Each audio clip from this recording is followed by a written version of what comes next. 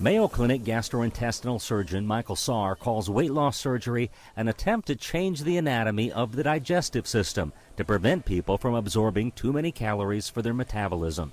Dr. Sarr says in no way is it a shortcut, but rather a medical solution for heading off the unhealthy ravages of obesity.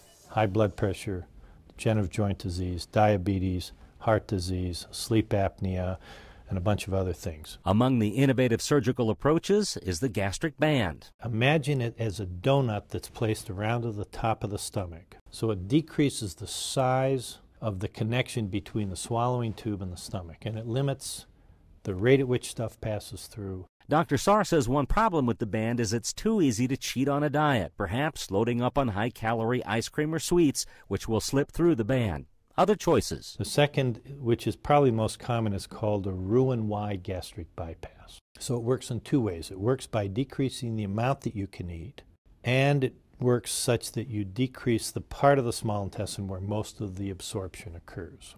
The third operation is called the sleeve gastrectomy. It reduces the stomach to about the size of a man's thumb. That's kind of the hot operation now because there's no bypass everything that gets that you eat goes through the normal channel. It's just that you can't eat very much. Dr. Sarr says short-term data suggests it's almost as good as a gastric bypass.